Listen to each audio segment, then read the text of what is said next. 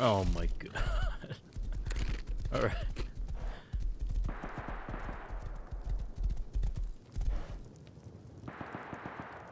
Am I gonna die? Is it over for me? Maybe if I eat one more pickle to save myself?